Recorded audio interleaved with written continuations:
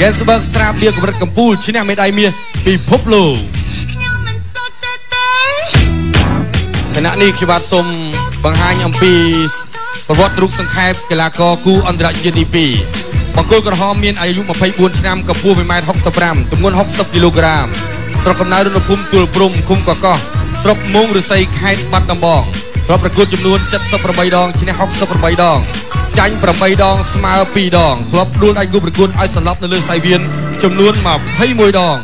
មកពីក្លឹបប្រដាល់សមរ័យរាជសីគ្រូបង្ហាត់គឺលោកមាសសុគ្រីលោកលោកស្រីនិងកញ្ញាសូមណែនាំឲ្យស្គាល់រាជសីក្រញាំពឹសជើងរន្ទះប្រលះមិនរើសមុខសារឿនចាន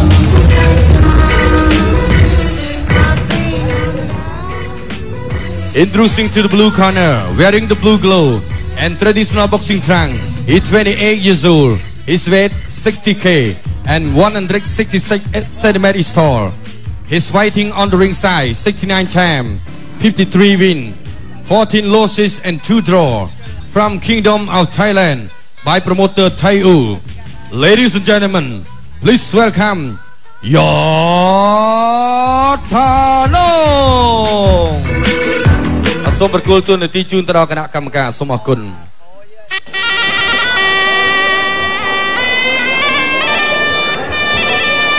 បាទលោកលោកស្រីនិងបងប្អូនជនរួមជាតិបាទជាទីគោរពនិងជាទីមេត្រីបាទឥឡូវនេះយើងវិលមកជួបគ្នាបន្តមកជាមួយនឹងគូប្រដាល់លក្ខណៈមិត្តភាពអន្តរជាតិទី2ហើយក៏ជាគូទី3បាទសម្រាប់ព្រឹកថ្ងៃអាទិត្យនេះ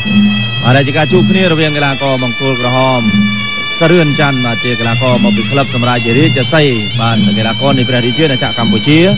បាទជាមួយនឹងកីឡាករយ៉ថានុងបាទដែលជាកីឡាករមកពីប្រទេសថៃហើយនៅទាំងពីរនេះជួបគ្នានៅក្នុងប្រភេទទម្ងន់60គីឡូក្រាមបាទនៅទីនេះបាទនាំមកជូនលោកអ្នកដោយស្រាបៀរ Kensburg បាទដែលជាស្រាបៀរផលិតចេញពីស្រូវសាឡៃនៅការហប់ល្អលេខ1និងខ្លាយលេខ1នៅលើពិភពលោកបាទរួមជាមួយនឹងបច្ចេកទេសចុងក្រោយរបស់អាល្លឺម៉ង់និងម៉ាស៊ីនផលិតស្រាបៀរលំដាប់ថ្នាក់លេខ1នៅលើពិភពលោកបាទប្រណេះបាទទើបធ្វើឲ្យគ្រប់ដំណក់ស្រាបៀរ Gensburg បាទពុះពេញទៅដោយក្លិនឈ្ងុយឈ្ងុយស្រូវសាឡៃឈ្ងុយស្រាបៀរអាល្លឺម៉ង់ឈ្ងុយលើសពីស្រាបៀរធម្មតា Gensburg ផលិតដោយជនជាតិអាល្លឺម៉ង់បាទលោកលោកស្រីបានជ្រាបហើយដែរចំពោះប្រវត្តិសង្ខេបបាទដែលលោកជីវ័នបានជម្រាបជូននៅមិញៗនៅលើសង្វៀនបាទគឺសិតតែអ្នកមានបទពិសោធន៍នៅក្នុងការប្រកួតច្រើនហើយហើយអ្វីដែលបាទលោកគុណជីវ័នបានជម្រាបជូនគឺធម្មតាទេបាទបទពិសោធន៍នៅក្នុងការប្រកួតកីឡាករម្នាក់ម្នាក់បាទគេថាមានការលាក់បាំងបាទខ្លះដែរមិនមែនថាប្រាប់អស់ទេ បាទអ្នកខ្លះទៅប្រកួតដល់2 300ដងហ្នឹងបាទជួនកាលមកប្រាប់បាទអឺ50ដងឬក៏60ដងបាទនេះគឺជាការលាក់បាទនៅប្រវត្តិសង្ខេបរបស់គេដើម្បីបាទកុំឲ្យគូប្រកួតដឹងថាអូខ្លួនមានបទពិសោធន៍នៅក្នុងការប្រកួតច្រើនដងអញ្ចឹងធម្មតាទេបាទល្បិចបាទអ្នកប្រដាល់ បាទគឺថាល្បិចអ្នកកីឡាគឺលាក់កំនួចគ្នាទៅវិញទៅមកដើម្បីកុំឲ្យគូប្រកួតគេហៅថាដឹងនៅបទពិសោធន៍បច្ចេកទេសបាទថាខ្លួននឹងខ្លាំងបាទអញ្ចឹងខ្លាំងខ្សោយបាទมันសំខាន់ទេបាទនៅលើប្រវត្តិរូបបាទសំខាន់បាទការអនុវត្តជាក់ស្ដែងបាទនៅលើសង្វៀនថាតើបាទកីឡាកររូបណាដែលធ្វើបានល្អហើយបានបន្ទុកច្រើនអ្នកនោះហើយបាទជាអ្នកទទួលបាននៅលទ្ធផលបាទជ័យជំនះសម្រាប់ខ្លួន បាទឥឡូវនេះបាទលោកនួនម៉ារ៉ាដែលជាអាជ្ញាកណ្ដាលក៏បានជម្រាបជូនរួចរាល់ហើយដែរចំពោះបាទលក្ខខណ្ឌបាទច្បាប់នៃការប្រកួតដើម្បីឲ្យប្អូនទាំងពីរបាទទាំងកីឡាករនៃព្រះរាជាណាចក្រកម្ពុជា បាទទាំងកីឡាករថៃបាទបានជ្រាបហើយដើម្បីឲ្យការប្រកួតគឺថាអនុវត្តទៅចំគោលដៅហើយនឹងចំលក្ខណៈបច្ចេកទេសបាទកុំឲ្យមានកំហុស បាទផ្នែកបច្ចេកទេសបាទព្រោះថាបងប្អូនបាទអ្នកចូលរួមទស្សនាផ្ទាល់នេះក៏ច្រើនបងប្អូនដែលទស្សនានៅតាមគេហដ្ឋាននោះច្រើនជាងនេះរាប់ម៉ឺនដងទៅទៀតបាទអញ្ចឹងបាទសូមតាមដានទស្សនាជាមួយនឹងបាទដែលជាអ្នកធ្វើអត្ថាធិប្បាយសម្រាប់ការប្រកួតបាទគូប្រដាល់លក្ខណៈមិត្តភាពអន្តរជាតិទី2 ហើយក៏ជាគូទី3បាទនៅក្នុងការប្រកួតបាទព្រឹកថ្ងៃអាទិត្យនេះផងដែរបង្គោលក្រហមកីឡាករនៃព្រះរាជាណាចក្រកម្ពុជាសរឿនច័ន្ទបង្គោលខៀវកីឡាករមកពីព្រះរាជាណាចក្រថៃយ៉តថានុងហើយយើងនៅមានការជួបគ្នារវាងកីឡាករគូប្រដាល់លក្ខណៈមិត្តភាពអន្តរជាតិទី3បាទឃីមឌីម៉ាដែលជាកីឡាករជើងខ្លាំងរបស់ក្លឹបរស្មីភូមិគៀបខេត្តបន្ទាយមានជ័យ កីឡាករនៃព្រះរាជាណាចក្រកម្ពុជាយើង បាទជាមួយនឹងបាទតាហានអេកបាទតែជាកីឡាករថៃនៅក្នុងប្រភេទទម្ងន់63គីឡូក្រាម500បាទបានន័យថា63គីឡូក្រាមកន្លះអ្នកទាំងពីរបាទកំពុងតែស្ទាបស្ទង់គ្នាហើយបង្គោលក្រហមកីឡាករនៃព្រះរាជាណាចក្រកម្ពុជាយើងមានកម្ពស់ខ្ពស់ជាងបង្គោលគេបន្តិចអារៀងរើកម្ពស់កម្ពស់បាទថាប្រ ហែលគ្នាហើយគីឡូនោះគឺថាប៉ិនគ្នាត្រឹមតែម្ដងគឺ60គីឡូក្រាមគីឡូឆ្វេងធម្មតាទេបាទយូរយូរមកជួបគ្នាម្ដងបាទអញ្ចឹង3នាទីសុំគេហៅថាស្ទាបស្ទង់នឹងមិនខុសទេបាទបងប្អូនក៏មិនប្រកាន់ទោសអូសពេអីដែរបាទផ្ដល់ជូន3នាទីដំបូងដើម្បីឲ្យអ្នកទាំងពីរនេះគេថាបានស្ទាបស្ទង់ បាទមើលកម្លាំងគ្នាបច្ចេកទេសទឹកចិត្តបាទហើយថាអញ្ញាកដាលក៏មិនបាទមិនទុកឲ្យស្ទាបស្ទង់យូរដែរល្មមល្មមគេថាបំបែកហើយឲ្យធ្វើការប្រកួតបន្តមិនទាន់ធ្វើការពមៀនទេបាទព្រោះទឹកទី1មិនវាយក៏មិនបញ្ហាអាខាយឆ្វេងបាទស្របពេលដែលបង្គោលខៀវថ្នងបាទ យកដៃទៅខ្ដោបមិនមិននេះប្រងនឹងប្រើជង្គង់ដែរក៏ប៉ុន្តែមើលទៅឱកាសនៃការប្រើជង្គង់នឹងមិនចេះតែប្រើទេបាទកាលណាតែខ្សោបកគូប្រកួតបានបានអុកជង្គង់កើតបើសិនជាគ្រាន់តែសវ៉ាមិនមិនដូចជាមិនមិនអញ្ចឹងគាត់ថាយើងមិនអាចអុកជង្គង់គេថាអុកចូលក៏ប៉ុន្តែមិនខ្លាំងប្រហែលទេជង្គង់របស់គេប៉ុន្តែបើសិនជាទាញកកមកបានបាទចូលមកជង្គង់គេថាគួបាទគេថាសង្ហាចិត្តដែរ បងប្អូនធ្លាប់ដឹងហើយគាត់ថាលេងសើចជាមួយគ្នាបន្តិចតួចក៏គេហៅថាផ្លាត់ណាថាតាមពិតទៅដូចថាចាប់អុកលេងគាត់ថាជួនកាលទៅបាទមកខាងទៀតនោះក៏អត់បានចាប់អារម្មណ៍ទាញមកលោមកជង្គង់សាមើបាទថាចំកន្លែងដឹកទៅពេទ្យលន់ដែរហ្នឹងអបលោតបាទសម្រាប់អ្នកបដាល់មកឈឺមកផ្លែទេព្រោះគាត់គាត់បខាត់អញ្ចឹងសម្រាប់យើងអ្នកដែលមិនធ្លាប់បខាត់បាទលេងសើចអញ្ចឹងអត់បានទេបាទព្រោះគណៈ បាទឥឡូវនេះបាទជាប់ទឹកទី1ទៅហើយបាទរងចាំទស្សនានៅទឹកទី2បន្តទៀតមើលថាតើយ៉ាងណា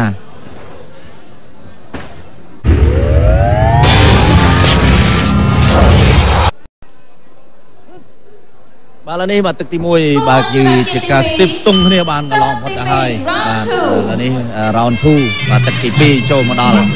បាទអញ្ចឹងទស្សនាបន្តបាទជាមួយនឹងការជួបគ្នារវាងកីឡាករគូប្រដាល់លក្ខណៈមិត្តភាពអន្តរជាតិទី2ហើយក៏ជាគូទី3បាទនេះព្រឹកនេះ ទឹកទី2បង្គោលក្រហមគឺកីឡាករសរឿនច័ន្ទដែលជាកីឡាករនៃព្រះរាជាណាចក្រកម្ពុជាបង្គោលខៀវគឺថានងបាទយតថានងបាទគឺជាកីឡាករថៃ បាទទឹកទី2ចូលមកដល់ហើយហើយកម្មវិធីដំណើរការមកបានបាទរៀងរាល់សប្តាហ៍នេះគឺបានទទួលការឧបត្ថម្ភផ្ដាច់មុខបាទពីស្រាបៀកែនស្បឺកបាទដែលជាស្រាបៀផលិតដោយជនជាតិអល្លឺម៉ង់គុណភាពអល្លឺម៉ង់ស្រាបៀកែនស្បឺកផលិតដោយបាទគេហៅចេញពីស្រូវសាលីនិងការហប់ល្អលេខ1និងថ្លៃលេខ1នៅលើពិភពលោករួមជាមួយនឹងម៉ាស៊ីនបាទលំដាប់ថ្នាក់លេខ1ពិភពលោកផងនោះបាទធ្វើឲ្យគ្រប់ដំណាក់ស្រាបៀកែនស្បឺកបាទពុំទៅដោយក្លិនឈ្ងុយ ឈ្ងុយស្រូវសាលីឈ្ងុយស្រាបៀអល្លឺម៉ង់បាទឈ្ងុយលើសពីស្រាបៀធម្មតាអូហូយវាយចូលបាទកណាត់ដៃបាទទៅលើផ្ទៃមុខរបស់កីឡាករបង្គោលគឺទួនទួនតែម្ដងបាទកីឡាករសរឿនច័ន្ទតែពេលនេះសរឿនច័ន្ទហាក់បីដូចជាមានកម្លាំងចិត្តបាទក្រោយពីបានទទួលនៅសម្លេងគ្រប់គ្រងពីបងប្អូនដែលគាត់ចូលរួមផ្ដល់ការលើកទឹកផ្ទាល់ផងបាទអញ្ចឹងធម្មតាទេបាទវាយទឹកវាយនៅលើទឹកដីនៃព្រះរាជាណាចក្រកម្ពុជាយើងបាទអ្នកលើកទឹកចិត្តក៏ជាប្រជាជនកម្ពុជាយើងដែរអញ្ចឹង បាទគេថាជាកម្លាំងចិត្តមួយសំខាន់ណាស់ដល់កីឡាករសរឿនច័ន្ទរបស់យើងក្នុងការប្រកួតនេះបាទកណ្ដាប់ដៃជួយស្ដាំកែងស្ដាំមួយទៀតទៅលើកីឡាករបាទយតធនងគុំស្ដាំរបស់សរឿនច័ន្ទពីជង្គង់3ជង្គង់សងបានមកជង្គង់វិញដៃលូកទាស់កែងរត់បាទរុលចូលអត់កើតទេលោកនួនបារាដែលជាអាញាកណ្ដាលកីឡាលោកបំបែកទៅកណ្ដាលទេសង្វៀនតែម្ដងចាប់ផ្ដើមហើយបាទជួចិត្តបដាបដាហើយព្រោះថាចូលមកដល់ទឹកទី2បាទគឺក្រោយពីការស្ទាបស្ទង់ហើយ ក្តៅសាច់ដុំនោះក៏ក្តៅគួសមហើយដែរបាទអញ្ចឹងការវាយចេញគឺថាចាប់ផ្ដើមបាទបណ្ដាបណ្ដាហើយលោកកញ្ញាកដាលបំបាយទៀតហើយហាបោងមកលើតបផ្នែកខាងស្ដាំហើយសម្រាប់កីឡាករយតធនងកែងរបស់កីឡាករសរឿនច័ន្ទបាទបដូរចូលបាទមិនមិនអង្គពីគូតបៃស្ដាំមួយទៀតបាទចូលទៅលើផ្ទៃមុខជង្គង់ស្ដាំរបស់ធនង បាទថែមកជង្គង់ទៀតសងមកជង្គង់ទៅវិញបាទយើងមើលជង្គង់បាទខ្លាំងខ្សោយគឺថាលោកអ្នកតាមដានទស្សនាមើលដឹងតាមរយៈការផ្សាយផ្ទាល់ពីបាទបណ្ដាញស្ថានីយ៍ទូរទស្សន៍អាស៊ីអាគ្នេយ៍ហើយបងប្អូនដឹងហើយថាស្ថានីយ៍ទូរទស្សន៍អាស៊ីអាគ្នេយ៍បាទត្រូវបានបំពាក់នៅម៉ាស៊ីនផ្សាយថ្មីបាទ HD បាទដែលមានកម្លាំងផ្សាយរហូតដល់ទៅ20គីឡូវ៉ាត់ហើយអឺបានដំឡើងបាទនៅម៉ាស៊ីនថ្មីនៅតាមបណ្ដាខេត្ត ទូទាំង25ខេត្តក្រុងបាទទូទាំងប្រទេសគឺថាការផ្សាយគ្របដណ្ដប់បាទនៅទូទាំងព្រះរាជាណាចក្រកម្ពុជារបស់យើងតែម្ដងដោយមានរូបភាពបាទនិងសម្លេងបាទច្បាស់ល្អបាទងាយស្រួលបងប្អូនតាមដានទស្សនាបាទគ្រប់កម្មវិធីផ្សាយរបស់ស្ថានីយ៍ទូរទស្សន៍អាស៊ីអាគ្នេយ៍របស់យើងបាទជង្គង់ស្ដាំអីយោយរួចចេញអើយបាត់កែងមួយសងមកវិញបាទស្របពេលស្រូជួងមកលើឡើងចាប់ទឹកទី2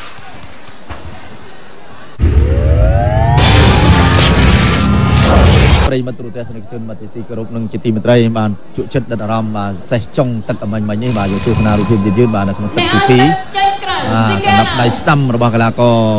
បាទសរឿនច័ន្ទរបស់ព្រះរាជាណាចក្រកម្ពុជាយើងនេះម្ដាយក្រោយនេះបានធ្ងន់បាទចូលពេញកដាលមុខតែម្ដងគូអន្តរជាតិទី2ហើយមួយទៀតសងមកវិញដែរខៅស្ដាំចូលគុំតិចរបស់កីឡាករសរឿនច័ន្ទរបស់យើង បាទសរឿនច័ន្ទនៅតាមដេញបាទដេញបៃសងយើងមើលកណ្ដាប់ដៃមួយទៀតណែថែមមកវិញបាទខាវបាទវៃខាវមិនសូវជាកម្លាំងខ្លាំងប្រហែលទេបាទសម្រាប់កីឡាករតំណង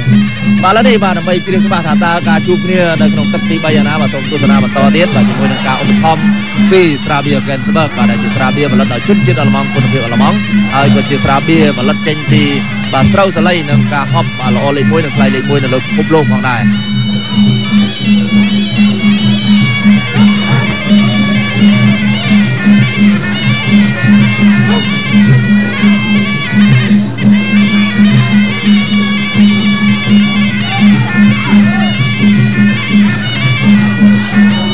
វែងស្ដាំរបស់កីឡាករនៃព្រះរាជាណាចក្រកម្ពុជាជង្គង់ស្ដាំរបស់កីឡាករថៃមួយជង្គង់វិញ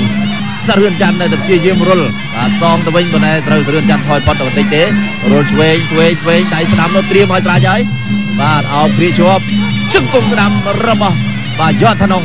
បាទត្រូវបានលោកកញ្ញាកណ្ដាលលោកកំបែកទៅកណ្ដាលផ្ទៃសង្វៀនកញ្ញាកណ្ដាលលោកនួនបារាបាទគឺជាអតីតកីឡាករដែលមានឈ្មោះបោះសម្លេងដែរបាទចំនួនលោកធុនសភាចំនួនអីហ្នឹងបាទសុទ្ធសេរីគាត់ហើយជាមួយនួនបរម បាទមកស្កមកស្កគ្នាគាត់ហ្នឹងឥឡូវខ្លាយជាគ្រូរបស់អស់ហើយបាទហើយលោកនួនបារានេះបច្ចុប្បន្នជាចៅក្រមផងជាអាជ្ញាកណ្ដាលផងនៅបាទស្ថានីយ៍ទូរទស្សន៍អាស៊ីអាគ្នេយ៍របស់យើងបាទអោបគ្រាជាប់កណ្ដាលរុញអប់បំបីចេញតែម្ដងទុកឲ្យយូរទេអាគៀនខ្សែរេងយូរនាំតែសាំទេបាទគេហៅថាធុញហប់នៅក្នុងចិត្តបាទមកកណ្ដាលសង្វៀនងាយស្រួលបាទយើងឃើញហើយចង់ធ្វើអីក៏បានដែរ បាទគេថាឆ្លាស់អត់មានពាក់ព័ន្ធនឹងខ្សែរិញអីរញ៉េរញ៉ៃទេបាទចង់បដូរជង្គង់ជង្គង់ចង់បដូរដៃដៃបាទ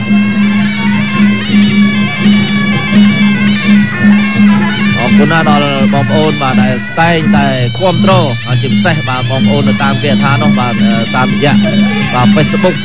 បាទគេថាខ្ញុំបានតែបង្ហោះជូននៅលទ្ធផលសម្រាប់ការប្រកួតគូប្រកួតបាទប្រចាំសប្តាហ៍ដើម្បីឲ្យងាយស្រួលបងប្អូនយើងគាត់តាមដានទស្សនា ហើយ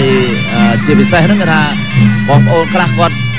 អត់សូវចាប់អារម្មណ៍បាទអញ្ចឹងគាត់ទស្សនាតាមរយៈបាទ Facebook ហ្នឹងគឺគាត់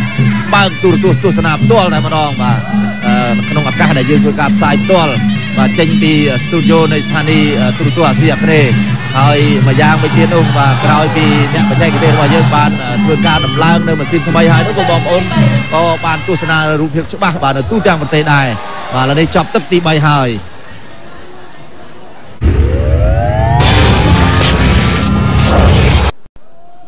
បាទអរគុណជាមួយនឹងស្រាបៀកែនស្បឺកអាពាហ៍ពិពាហ៍ផ្អែមល្ហែមដោយទឹកឃ្មុំបាទជាវស្រាបៀកែនស្បឺកនៅក្នុងកម្មវិធីអាពាហ៍ពិពាហ៍និងកម្មវិធីផ្សេងផ្សេងរបស់អស់លោកលោកស្រីអ្នកនាងកញ្ញាបាទគឺមានឱកាសបាទឈ្នះនៅកាដូដ៏អស្ចារ្យបាទទូរទស្សន៍ HD LED បាទចំនួន100គ្រឿងម៉ូតូ Yamaha Asset 110គ្រឿង បាទនឹងរង្វាន់រថយន្ត Ford Ranger ស៊េរីថ្មីបាទបន្ថែមនឹងសិភៅកត់ចំណងដៃនិងស្រាបៀរជាច្រើនកេះបាទកាដូដ៏អស្ចារ្យនេះនឹងក្លាយជារបស់អ្នកបាទជាមួយនឹង Gensberg អាពាហ៍ពិពាហ៍ផ្អែមល្ហែមដោយទឹកឃ្មុំឈ្នះរង្វាន់ធំធំច្រើនសន្តិភាព Gensberg ផលិតដោយជនជាតិអាល្លឺម៉ង់បាទគុណភាពអាល្លឺម៉ង់បាទនេះបាទឈានចូលដល់ទឹកទី4ហើយបាទសម្រាប់ការជួបគ្នារវាងកីឡាករទាំងពីរបាទបង្គោលក្រហមគឺកីឡាករត្រៀនច័ន្ទនិងបង្គោលខៀវយ៉តផាណុង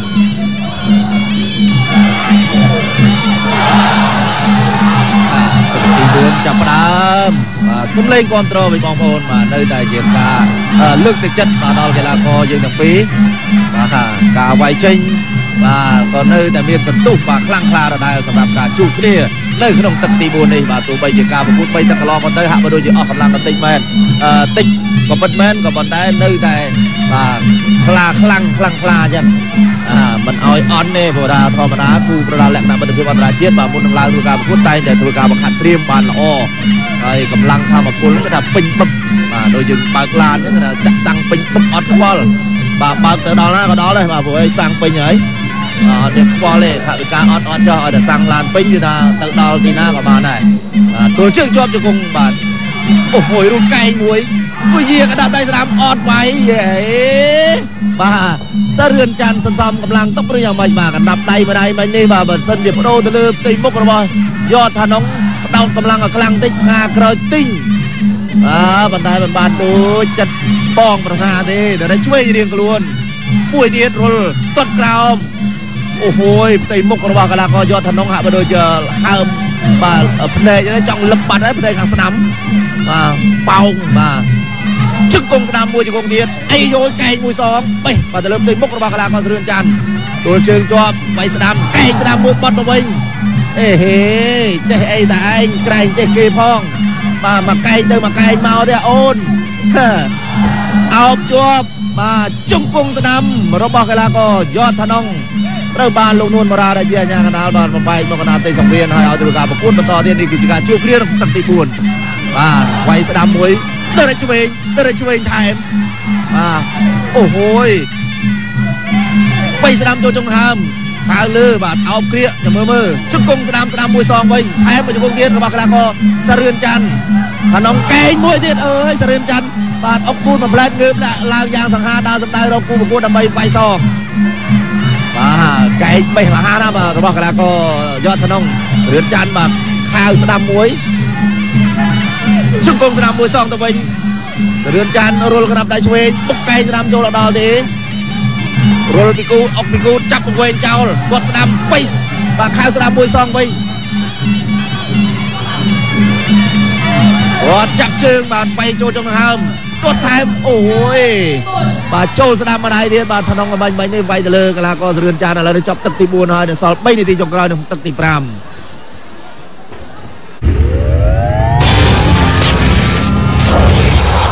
ឥឡូវនេះយើងឃើញហើយ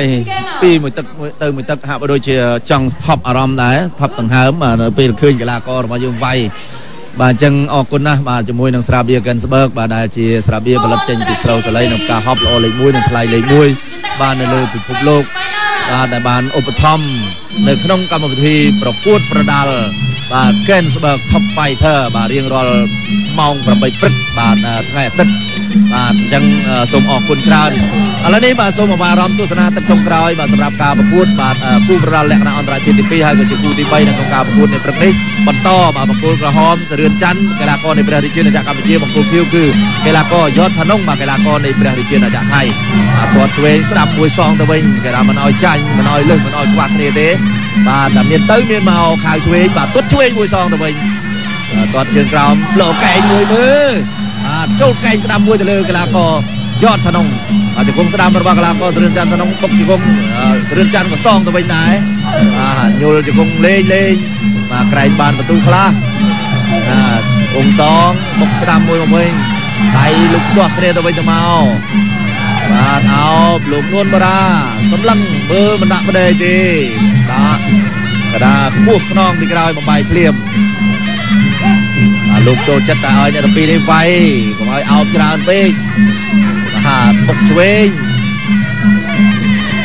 មកវិញហើយបាទថែមមួយមិនមកវិញទេថែមបាទកណ្ដាប់ដៃស្ដាំរបស់គេកែងមួយទៅជាមួយសងទៅវិញអូហូយមួយកែងមួយជើងបាទសងមកវិញបានតែមួយជើងទេមួយជើងទៀតរបស់កីឡាករសរឿនច័ន្ទចាប់កាច់ជឹកគង់ស្ដាំរបស់តំណងសរឿនច័ន្ទបុកស្ដាំមកជង្គង់វិញ គល់ជើងហើយលោកអាញាកដាញែកតែម្ដងបាទគូក្រោយជាការជួបគ្នារវាងកីឡាករឃីមឌីម៉ាដែលជាកីឡាករមកពីក្លឹបរស្មីភូមិគៀបខេត្តបន្ទាយមានជ័យកីឡាករនៃព្រះរាជាណាចក្រកម្ពុជាជាមួយនឹងហានអេកបាទដែលជាកីឡាករមកពីព្រះរាជាណាចក្រថៃអូហូយ1 2 1 2 1 2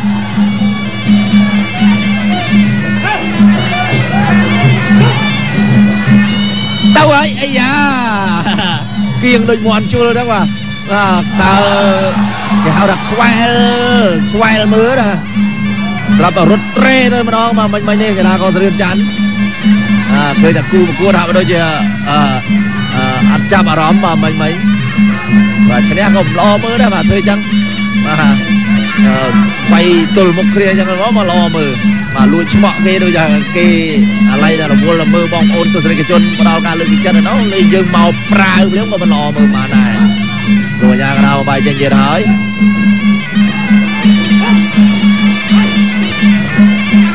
ថាចូលដល់ទឹកទី5ចុងទឹកនេះបាទឃើញថាបដែតបដោយពេលវេលាខ្លះថាគាត់ស្ដាំរុលឆ្វេងវាយស្ដាំអែមឆ្វេងទៀតមិនដែរបានតែប្រផិតប្រផិតទេទង្វន់ដៃហ្នឹងក៏ខ្សោយដែរនៅក្នុងទឹកទី5នេះ មកឡើយនេះបាទចប់ទឹកទី5ហើយបន្តិចទៀតនឹងបានជ្រាបនៅលទ្ធផលការផ្ដល់បន្ទូយ៉ាងសក្រិតយុទ្ធធរពីសំណាក់ចៅក្រមទាំង5បាទមានបាទចៅក្រមបាទម៉ាក់សមឿនបាទចៅក្រមឡុងស៊ីលីនបាទចៅក្រមនិនវណ្ឌីបាទចៅក្រមព្រំសភាហើយនឹងចៅក្រមបាទឡុងបន្ថនផ្ដល់ជូននៅបន្ទុកបាទយ៉ាងសក្រិតយុទ្ធធរដល់អ្នកទាំងពីរ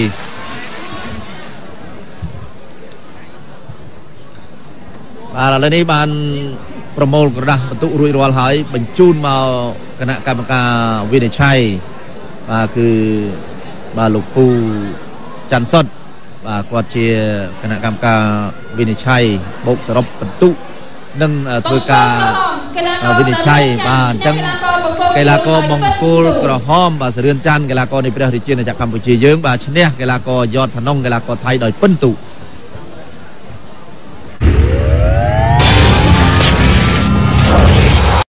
ធ្វើការប្រកួតហើយខ្ញុំបាទក៏យកឱកាសបាទជម្រាបជូននៅ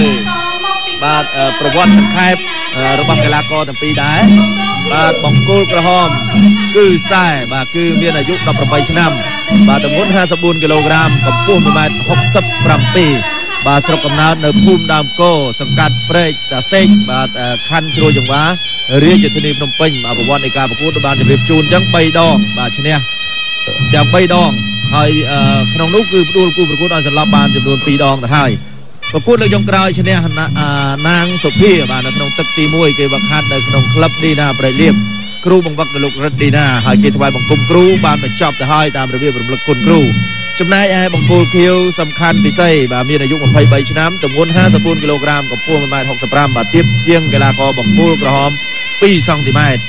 បាទស្រុកកំណើតនៅភូមិក្រោលគូឃុំសំបូរមាស បាទស្រុកមុខកំពូលខេត្តកណ្ដាលប្រវត្តិនៃការប្រកួតបាន3ដងដូចគ្នាឈ្នះទាំង3ដងផ្ដួលគូប្រកួតឲ្យសន្លប់បានទាំង3ដងប្រកួតលើកចុងក្រោយឈ្នះហាងប៊ុនណានៅក្នុងទឹកទី2គេវឹកហាត់នៅក្នុងក្លឹបរហាប់ស្វាយប៉ាគ្រូបង្វឹកគឺបាទលោកបឺតសំខាន់គេថ្វាយបង្គំគ្រូតាមព្រះលក្ខវត្តសេមាបាទលោកលោកស្រី បាទនេះគឺជាការប្រកួតបាទគូប្រដាល់ពិសេសទី1ដែលជាគូប្រដាល់បើកឆាកនៅក្នុងកម្មវិធី Gensburg Top Fighter បាទប្រចាំព្រឹកថ្ងៃអាទិត្យបាទរៀងរាល់សប្តាហ៍ហើយបាទសម្រាប់ការជួបគ្នានេះគឺនៅក្នុងប្រភេទទម្ងន់54គីឡូក្រាមដោយបានទទួលការឧបត្ថម្ភផ្ដាច់មុខបាទពីស្រាបៀ Gensburg បាទដែលជាស្រាបៀ បាទផលិតចេញពីស្រូវសាលីនិងផ្កាហប់ថ្លៃលេខ1និងល្អលេខ1នៅលើពិភពលោករួមជាមួយនឹងបច្ចេកទេសចុងក្រោយរបស់អាល្លឺម៉ង់និងម៉ាស៊ីនផលិតស្រាបៀលំដាប់ថ្នាក់លេខ1នៅលើពិភពលោកម៉ាកក្រៅនេះបាទទើបធ្វើឲ្យគ្រប់ដំណក់ស្រាបៀ Gensburg បាទពោពេញទៅដោយក្លិនឈ្ងុយឈ្ងុយស្រូវសាលីឈ្ងុយស្រាបៀអាល្លឺម៉ង់ឈ្ងុយលើសពីស្រាបៀធម្មតាស្រាបៀ Gensburg ផលិតដោយជនជាតិអាល្លឺម៉ង់គុណភាពអាល្លឺម៉ង់គូពិសេសទី1ទឹកទី1 បាទលោកលោកស្រីជាទីមេត្រីបាទឥឡូវនេះមុននឹងតាមដានទស្សនានៅការជួបគ្នារវាងកីឡាករគូប្រដាល់លក្ខណៈវិនភាពខណ្ឌបាទគឺជាបាទតៃតៈជាកីឡាករដែលលោកអ្នកធ្លាប់ស្គាល់ហើយគេថាមានឈ្មោះបោះសម្លេងថាជាកីឡាករខ្លាំងប្រចាំបាទកាលនោះគឺបាទបើសំខាន់បខាត់បាទជាមួយនឹងលោកឡុងសារវ័នលោកអីដែរបាទកន្លងមក ធាក់មួយគាត់ជើងក្រោមពុកមួយជើងវិញអើអូហូយបេះកែងអុកពីគូនបៃស្ដាំឆ្វេងកែងស្ដាំរបស់កីឡាករបង្គោលក្រហមបាទលោកននរិទ្ធដែលជាអាជ្ញាកណ្ដាលលោកបំបែកភ្លាមដែរធាក់មួយឲ្យគ្រាជាប់ចាប់គ្រាយក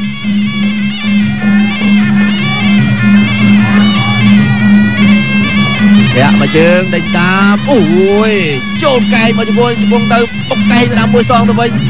បាទលោកអាជ្ញាកណ្ដាលបំបែកចេញទៀតហើយបាទអរគុណណាស់ដល់បងប្អូនបាទដែលចូលរួម បាទគឺថារៀងរាល់សប្តាហ៍តែតែចូលរួមដល់ការលើកទឹកចិត្តផ្ទាល់នៅក្នុងនៃសង្វៀននៃស្ទូឌីយោស្ថានីយ៍ទូរទស្សន៍អាស៊ីអាគ្នេយ៍របស់យើងគឺថាណែតតាន់តាប់ហើយសប្តាហ៍នេះគឺ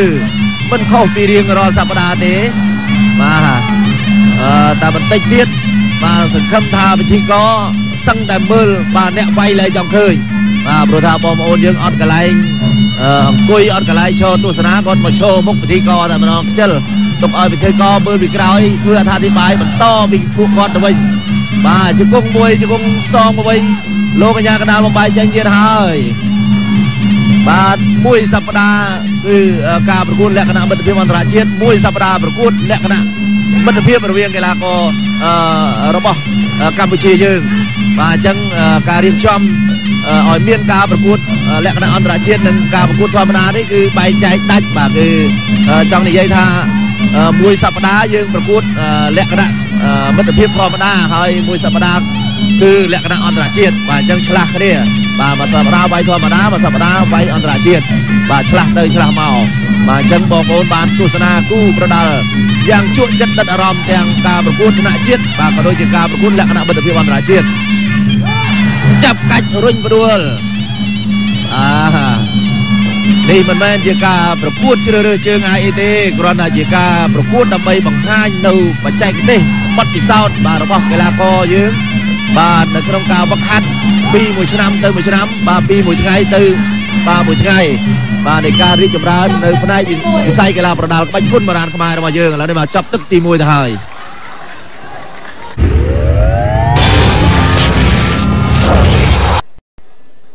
បាទទឹកទី1គ្រាន់តែជាបង្ហាញជូននៅបច្ចេកទេសខ្លះខ្លះតែប៉ុណ្ណោះបាទសង្ឃឹមថាទឹកទី2ទី3ទី4និងទី5បាទបងប្អូនកាន់តែជក់ចិត្តដិតអារម្មណ៍បាទជាមួយនឹងការជួបគ្នារវាងកីឡាករគឺសែជាមួយនឹងសំខាន់ពិសីព្រោះថាអ្នកទាំងពីរនេះបាទឡើងលើសង្វៀនបាទជាលើកទី4របស់គេដូចគ្នាហើយ3ប្រកួតកន្លងមកគឺឈ្នះជាប់គ្នាទាំង3ប្រកួតដូចគ្នាក៏ប៉ុន្តែបង្គោលក្រហម បាទផ្ដួលគូប្រកួតឲ្យសន្លប់បាន2លើកចំណែកឯបង្គោលខៀវឈ្នះ3លើកផ្ដួលគូប្រកួតឲ្យសន្លប់ទាំង3លើកតែម្ដងបាទដូច្នេះចាំតាមដានទស្សនាបន្តនៅក្នុងទឹកទី3អឺសំទោសបាទក្នុងទឹកទី2ទី3និងទី4ទី5បាទតែនេះគឺថានាំមកជូនលោកអ្នកដោយស្រាបៀកេនស្បឺកបាទអាពាហ៍ពិពាហ៍ផ្អែមល្ហែមបាទដូចទឹកឃ្មុំបាទជាវស្រាបៀកេនស្បឺកនៅក្នុងកម្មវិធីអាពាហ៍ពិពាហ៍របស់លោកអ្នកនឹងមានឱកាសឈ្នះនៅកាដូដ៏អស្ចារ្យ ទូរទស្សន៍ HD LED ចំនួន100គ្រឿងម៉ូតូ Yamaha Asset 10គ្រឿងរង្វាន់ធំរថយន្ត Ford Ranger ស៊េរីថ្មីចំនួន1គ្រឿងបន្ថែមជាមួយនឹងសម្ភៅចំណងដៃនិងស្រាបៀរជាច្រើនកេះកាដូដ៏អស្ចារ្យនេះនឹងក្លាយជារបស់អ្នកបាទជាមួយនឹងស្រាបៀរកិនស្បឹកអាពីពីផ្អែមល្ហែមដូចទឹកឃ្មុំឈ្នះរង្វាន់ធំធំសន្ធឹកសន្ធាប់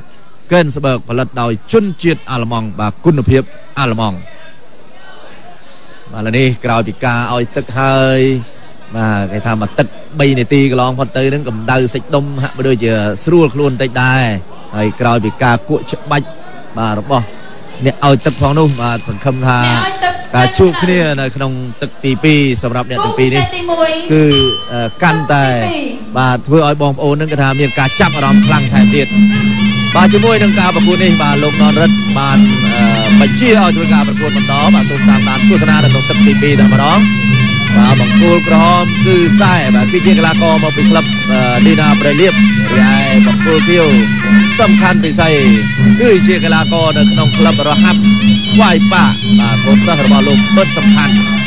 អូហូយខាងស្ដាំពុកកែងស្ដាំជង្គង់ឆ្វេងស្ដាំឆ្វេងស្ដាំស្ដាំមួយទៀតជង្គង់ឆ្វេងមួយសងលោកននរិទ្ធដែលជាអាជ្ញាកណ្ដាលបាទលោកបំបែកទៅកណ្ដាលផ្ទៃសង្វៀន កាសនៃការបដូរកាយជង្គង់របស់កីឡាករគឺខ្សែគឺខ្សែបាទទាត់ស្ដាំមកយើងយ៉ាពិសេសអត់មានខ្លាចទេបាទចំកោងរងបង្រឹងគេហៅថាខំប្រឹងបង្កើនបង្រឹងនៅសាច់ដុំរបស់ខ្លួនដើរសម្ដៅមករកកីឡាករបាទគឺខ្សែតែម្ដងបាទដល់ពេលដែលគេប្រឹងយើងមើលសាច់ដុំរបស់គេគឺថាល្អណាស់ហើយជាពិសេសបាទយើងឃើញហើយបាទអ្នកប្រដាល់គឺក្បាលពោះគ្មានទេ បាទកាលណាគេហាត់ដល់គឺអញ្ចឹងបាទពោះស្អាតណាស់បាទតម្រុយទៅគឺថាមើលទៅស្អាតតែម្ដងបាទរៀង swell បាទមិនមែនដូចពិធីកទេបាទពិធីកតម្រុយទៅគឺថាដូចដាក់បាតទៅមុខអញ្ចឹងបាទការវឹកហាត់របស់បងប្អូនគឺថាធ្វើឲ្យសុខភាពល្អអញ្ចឹងកាលណាកាលណាយើងលេងកីឡាបានច្រើនគឺមិនមែនធ្វើឲ្យមានបញ្ហាដល់សុខភាពទេបាទគឺជាការវឹកហាត់ដើម្បីឲ្យសុខភាពរបស់យើងគឺថាល្អ ខាវស្ដាំមួយបាទពុកជង្គង់ឆ្វេងពិសេសបាទលោកអញ្ញាកដាលបាទបញ្ជាឲ្យធ្វើការប្រកួតបន្តទៀតជង្គង់ស្ដាំឆ្វេងរបស់កីឡាករបង្គោលក្រហមគឺខ្សែអូហូយមេដៃចូលចុងដង្ហើមណែបាទចូលបៃសងក៏មិនដែរឃើញថាគ្រាជាប់ជង្គង់ស្ដាំរបស់កីឡាករគឺខ្សែចូលទៅលើចុងដង្ហើមរបស់គឺខ្សែមកជង្គង់បៃស្ដាំទៀតហើយ ថែមក្តាប់ដៃចូលផ្ទៃមុខបាទគីសែដូរច្រើនក៏ប៉ុន្តែហាក់ដូចជាអត់ចូលគោលដៅសោះជង្គង់ស្ដាំមុខស្ដាំមុខឆ្វេងបាទសងទៅវិញអូហូយមិនគួរឲ្យជឿយើងមើលបាទការវាយចេញរបស់គឺខ្សែច្រើនក៏ប៉ុន្តែចូលគោលដៅហ្នឹងគឺតិចតួចបំផុតចំណែកសំខាន់ពិសេសការវាយរបស់គេមួយដៃមួយដៃគេថាចូលចំចំគោលដៅចាប់កាច់បោករួលចោលតែម្ដងពិសេសជាអ្នកបោក បាទលោកអាញាកណ្ដាលរុញថយក្រោយមកហើយជង្គង់ហោះពីចម្ងាយរបស់ពិសេសពិសេសបដូរកែងស្ដាំមួយអាញាកណ្ដាលឃើញតែមិនស្រួលទេបាទបបែកលៀមបាទចាប់ពីគូនេះទៅបាទបងប្អូននឹងបានទស្សនាការប្រកួតលក្ខណៈមិត្តភាពអន្តរជាតិបាទគូទី1បាទរវាងកីឡាករលនលឿបបាទដែលជាកីឡាករមកក្លឹបកងពលតូចលេខ70បាទប្រកួតជាមួយនឹងកីឡាករខងនង បាទមកពីប្រទេសថៃចប់ទឹកទី2ទៅហើយ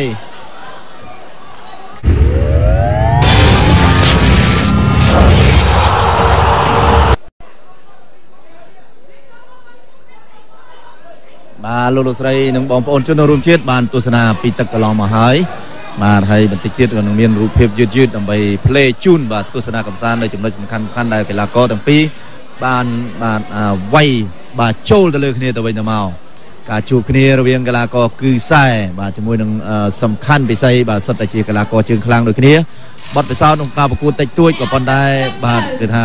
គូពិសេសទី1ការប្រកួតពោពេញទៅដោយកម្លាំងនិងធម៌ពលហើយជាពិសេសបាទបទពិសោធន៍ដែលមានកន្លងមកសិតតែព្រួលគូប្រកួតឲ្យសន្លប់បាទទាំង3លើកតែម្ដងហើយបង្គោលក្រហមនេះបាទ3លើកឈ្នះ ទាំង3ដូចគ្នាក៏ប៉ុន្តែព្រួលគូប្រកួតឲ្យសន្លប់បាន2លើកពុះកែងក្តាមមួយបាទនេះគឺជាការជួបគ្នានៅក្នុងទឹកទី3ហើយបាទហើយក៏អរគុណបាទដល់ស្រាបៀកែនសបឺផងដែរបាទដែលជាម្ចាស់ឧបត្ថម្ភផ្ដាច់មុខបាទនៅក្នុងកម្មវិធីនៃការប្រកួតកីឡាប្រដាល់ Gensburg Top Fighter ប្រចាំព្រឹកថ្ងៃអាទិត្យបាទរៀងរាល់សប្តាហ៍មួយពីរបាទឃើញថាអូហូយបាទមើលសភាពមិនស្រួលលោកអាញាកណ្ដាលបំបាយរុញទៅកណ្ដាលតេសង្វៀនតែម្ដងវាយស្ដាប់អុកពីគូតបាទជង្គង់រៀង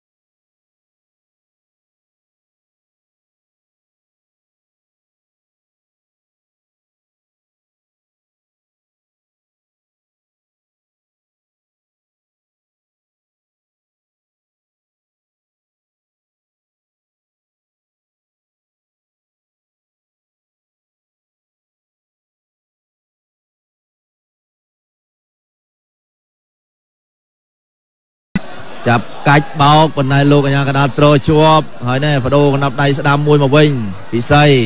បាទវាយបំបែកឃុំការពារបាទខៅមួយបាទចូលប៉ះបាទគុលធ្គៀមរបស់កីឡាករបង្គោលខៀវដែរបាទអញ្ចឹងបាទរងចាំទស្សនានៅទឹកទី4បន្តមើលថាតើការជួបគ្នារវាងកីឡាករទាំងពីរនេះបាទខ្លាំងប៉ះខ្លាំងអ្នកណាខ្លោចចាញ់ក្រៅ បាទទាំងនេះគឺថានាំមកជូនដោយស្រាបៀកែនស្បឺកបាទដែលជាស្រាបៀផលិតដោយជនជាតិអាល្លឺម៉ង់បាទគុណភាពអាល្លឺម៉ង់ហើយស្រាបៀកែនស្បឺកផលិតដោយគោរពទៅតាមច្បាប់បាទរបស់អាល្លឺម៉ង់គឺផលិតផលបរិសុទ្ធគ្មានជាតិគីមីបាទដើម្បីធានាលើសុវត្ថិភាពនិងសុខុមាលភាពអ្នកពិសាជាសំខាន់បាទដំណើរការនៃការផលិតត្រូវបានធ្វើឡើងយ៉ាងផ្ចិតផ្ចង់ បាទហើយអឺការធ្វើតេស្តបាទមីក្រូជីវសាស្ត្រ CTA អនាម័យនិងដំណើរការផលិតត្រូវតែល្អឥតខ្ចោះបាទស្រាបៀរ Gensberg ផលិតដោយជនជាតិអាល្លឺម៉ង់គុណភាពអាល្លឺម៉ង់បាទឥឡូវនេះទស្សនាទឹកទី4ដល់ម្ដងវាឃើញហើយដំណើរការទៅបន្តិចតែបាទមិនទាន់មានអ្វីបាទធ្វើឲ្យបងប្អូនបាទចាប់អារម្មណ៍នៅឡើយទេនៅក្នុងទឹកទី4នេះបង្គោលក្រហមគឺខ្សែគឺជាកីឡាករមកពីក្លឹបទីណាប្រៃលៀបបង្គោលខៀវអឺ សំខាន់ពិសេសបាទគឺជាកីឡាករនៅក្នុងក្លឹបរហាត់ស្វាយប៉ាបាទទាត់ស្ដាំពីរជើង3ជើងហ្នឹងបាទឥឡូវសងកណ្ដាប់ដៃបុកទៅបុកមកថែមស្ដាំជង្គង់ស្ដាំអេយ៉ាបែកខ្នងអីមិនធ្វើចឹងគេសែប្រហែលប្រហោងណាសំខាន់ណាស់បាទឃើញគូប្រកួតចឹងអត់មានបាទគេហៅថាស្រោតប្រើបច្ចេកទេសអីសំខាន់ដើម្បីផ្ដួលសោះបាទលោកកញ្ញាកដាលមកបាយចេញអំ បញ្ញមិញនេះបើសិនណាអឺសំខាន់ពិសេសគាត់ឆ្លាតបាទបុកមួយកែងឬក៏បាទអឺប្រើកណ្ដាប់ដៃបីចូលគល់គៀមឬក៏ចឹងក៏បាទគេថាឱកាសរបស់ខ្លួនមានហើយក៏ប៉ុន្តែមិនចេះមិនចេះឆក់យកឱកាសនឹងតែម្ដងបាទវាជើងមួយចោលទាត់ជើងក្រោមផុតហើយអើយកែងស្ដាំអូហូយជង្គង់មួយទៀតមួយពីរជង្គង់ស្ដាំជង្គង់ឆ្វេងបាទ ឃើញថាកិច្ចបាទនឹងការវាយបករបស់កីឡាករសំខាន់ពិសេសក៏ទាញសំខាន់ពិសេសមកដួលទ្រោមពីលើតែម្ដងបាទតាមពិតទៅដាក់ទូតអង្គុយដើម្បីកិច្ចបាទជង្គង់របស់ពិសេសស្អីនិយាយជើងក្រោមបាទនិយាយជើងបំរុងទាត់ក្រោមទៅហើយក៏មិនថាដូចជាអាក់ខានគេហៅថាអាក់ទៅវិញទាត់មួយជើងទៀតសងមួយជើងបុកស្មងខាងឆ្វេងរបស់កីឡាករបាទសំខាន់ពិសេសសំខាន់ពិសេសសងមួយជើងវិញ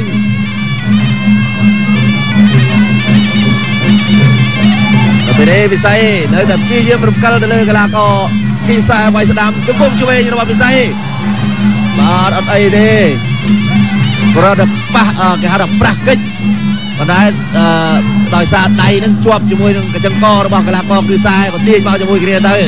បាទដួលជាឲ្យបានពីរនាក់ក៏មកខ្មាស់គេបាទមុខជង្គង់ទល់ជាប់ជល់ទល់មិនជាប់រុញទៅអឹបជាមួយខ្សែរែងមើលជាប់មិនជាប់ អរគុណណាស់ដល់បងប្អូនដែលកំពុងតែតាមដានទស្សនានៅតាមគេហដ្ឋានបាទនៅសល់តែមួយទឹកទៀតទេសម្រាប់ការជួបគ្នារវាងកីឡាករទាំងពីរហើយបងប្អូនឃើញស្រាប់ហើយ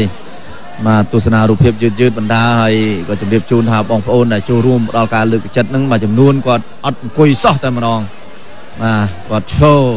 បាទដើម្បីងាយស្រួលបាទឈរហ្នឹងគឺថាងាយស្រួលគ្រប់យ៉ាង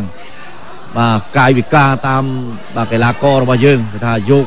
ឆ្វេងស្ដាំបានហើយអ្នកអង្គុយឯនោះវិញបាទយកយកសឹងតបាក់កៅអីហើយបាទកៅអីជ័រហ្នឹងយកសឹងតបាក់ហើយអ្នកដែលឈរនោះគាត់យកមកស្រឡាញ់បាទអញ្ចឹងតាមចង្វាក់បាទនៃការវាយចេញរបស់បាទកីឡាកររបស់យើងបាទនេះគឺជាការស្រឡាញ់បាទទៅលើផ្នែកប្រដាល់ក្បាច់គុណបុរាណខ្មែររបស់បងប្អូនហើយដែលគាត់ចូលរួមដល់ការលើកទឹកចិត្តហើយការចូលរួមនេះគឺជាការជំរុញ បាទទឹកចិត្តខ្លាំងណាស់បាទដល់បងប្អូនកីឡាកររបស់យើងហើយសង្ឃឹមថាទៅថ្ងៃអនាគតបាទសម្រាប់បងប្អូនយុវវ័យដែលបាទគាត់យកពេលវេលាទំនេរដើរលេងពីលាវ៉ាសែហ្នឹងគឺថាអាចនឹងមកចូលរួមហាត់កីឡាទាំងអស់គ្នាបាទដើម្បីសុខភាពហើយជាពិសេសហ្នឹងអ្វីដែលបាទគោលដៅសំខាន់បាទគឺគណៈកម្មាធិការជាតិអូឡ িম্প ិកកម្ពុជាចង់ឲ្យបងប្អូនយុវវ័យទាំងបរិសុទ្ធទាំងនារីបាទចូលរួមបាទលេងកីឡាទាំងអស់គ្នា គេហៅថាយ៉ាងហោចណាស់មួយនាក់បាទលេងកីឡាបានមួយមុខដើម្បីយើងត្រៀមបាទទទួលធ្វើជាម្ចាស់ផ្ទះការប្រកួតកីឡា SEA Games ឆ្នាំ2023ខាងមុខបាទដើម្បីដណ្ដើមយកមេដាយមកជូនប្រទេសជាតិអញ្ចឹងសម្រាប់បងប្អូនយុវវ័យរបស់យើងគឺថា ធ្វើយ៉ាងណាចូលរួមបាទបងប្អូនដែលមានអាយុទៅតែ10ឆ្នាំ10ឆ្នាំជាងតិចតួចហ្នឹងអាចបាទហាត់បានដើម្បីដល់ឆ្នាំ2023ឬបងប្អូនមានអាយុ20ឆ្នាំឬក៏21 22ឆ្នាំបាទចូលរួមប្រកួតកីឡាស៊ីហ្គេមទាំងអស់គ្នាបាទឥឡូវនេះបាទទស្សនាទឹកទី5បាទដែលជាទឹកប្រាជ្ញព្រាត់រវាងកីឡាករទាំងពីរបាទបន្តបាទពីគឺខ្សែបង្គោលក្រហមហើយនឹងបាទសំខាន់ពិសីបាទបង្គោលខៀវយ៉ាងកដាលបាទលោកបបាយទៀតហើយ បាទហើយឲ្យធ្វើការប្រកួតបន្តទៀតនៅពេលនេះយើងឃើញថាពិសីនៅតែព្យាយាមដើរសម្ដៅទៅលើកីឡាករគឺខ្សែតែគឺខ្សែថយនេះមិនមែនថយបាទថយគេហៅថាចុកចាញ់ទេថយដើម្បីរកអេឡង់ឱកាសណាមួយដែលអាចថាបៃលុកបានគឺបៃលុកតែម្ដងបាទឈ្មោះស្ដាប់ពុកឆ្វេងយើងមើលកែងមួយទៀតយេបាទនិយាយមិនទាន់ផុតមាត់ផងសងទៅលើកីឡាករពិសីចាស់ដៃពិសីនៅតែដើរចូលអញ្ចឹង គាត់ក្រោមរុលកដាប់ដៃឆ្វេងពុកឆ្វេងបៃស្ដាំចូលចំដង្ហើមប្រផិតបាទគេថាប៉ះបន្តិចទេបែកជើងក្រោមក៏បានលោកននរិទ្ធដែលជាអាចារ្យកណ្ដាលគេថាលោកមិនមើលនឹងផ្នែកទេបបាយភ្លាម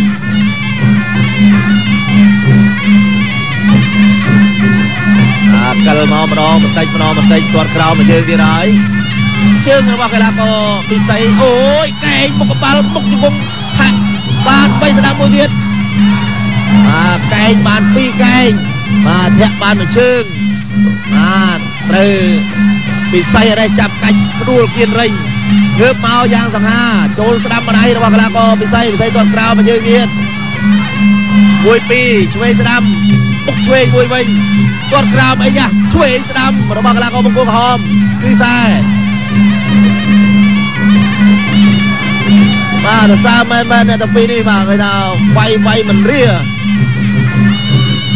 គាត់ក្រោមមួយទៀតថយផុតបាទអស់កម្លាំងតិចមែនក៏ប៉ុន្តែនៅការវាយចេញស្អាតដូចគ្នាអាយយចូលស្ដាំស្ដាំមួយវិញស្ដាំមួយសងមួយវាយចូលចុងដង្ហើមមួយសម្ដៅផ្ទៃមុខអ្នកណាខ្លាំងជាងអ្នកណាចាំមើលមើលពឹងទៅពឹងមករុញចែងយេចង់លុកអុកជង្គង់អីគាត់ក្រោមមកយើងវាល្អបីស្ដាំខាងស្ដាំស្ដាំមួយទៀតកែងរបស់កីឡាករបង្គោលគៀវលោកដនរិទ្ធបាទបំបាយ តែពេលនេះបាទអូយពុកជង្គង់ចូលម្នាក់មកជង្គង់អីយ៉ាស្ដាំម្ដាយទៀតគ្រាជាប់បាទពិសីគ្រាន់តែជាជង្គង់លោកអាញាកដាលទៅបំបាយភ្លាមបាទចប់ដឹកទី5អរគុណទេបងប្អូនអរគុណសូមខ្លាំងឡើងមួយទៀតបងបងប្អូនយើងគាត់គ្រប់គ្រងសម្បើមណាស់បាទការជួបគ្នារវាងកីឡាករទាំងពីរហើយខ្ញុំពេញចិត្ត បាទនឹងការជួបចិត្តនឹងអារម្មណ៍បាទកុំភ្លេចសងសឹកគ្នាទៀតបាទអរគុណទូនេះបាទគណៈកម្មការរៀបចំការប្រកួតបាទនឹងដាក់ឲ្យសងសឹកគ្នាបាទនៅពេលក្រោយហើយចប់ពីគូនេះទៅបាទបងប្អូននឹងទស្សនាការជួបគ្នារវាងកីឡាករគូប្រដាល់លក្ខណៈមិត្តភាពអន្តរជាតិបាទរវាងកីឡាករនៃព្រះរាជាណាចក្រកម្ពុជាយើងបាទគឺលនលឿបបាទដែលជាកីឡាករមកពីក្លឹបកងពលតូចលេខ70បាទជាមួយនឹងកីឡាករ ថងដងបាទគឺជាកីឡាករមកពីប្រទេសថៃហើយអ្នកទាំងពីរនេះគឺជួបគ្នានៅក្នុងប្រភេទទម្ងន់69គីឡូក្រាមលោកអ្នកក៏ធ្លាប់ស្គាល់ហើយដែរថងដងនេះបាទគេថាមកប្រកួតច្រើនលើកហើយនៅសង្វៀនបាទនៃស្ថានីយ៍ទូរទស្សន៍អាស៊ីអាគ្នេយ៍បាទហើយក៏នៅមានបាទយតថានងនេះក៏បងប្អូនធ្លាប់ស្គាល់ដែរបាទសិតតែអ្នកដែលធ្លាប់មកបញ្ចេញនៅបច្ចេកទេសរបស់ខ្លួននៅស្ថានីយ៍ទូរទស្សន៍នេះដែរ បាទឥឡូវនេះបាទលទ្ធផលសម្រាប់កីឡាករទាំងពីរបង្គោលក្រហមបាទគឺខ្សែឈ្នះបន្ទុកកីឡាករសំខាន់ពិសីបង្គោលខៀវ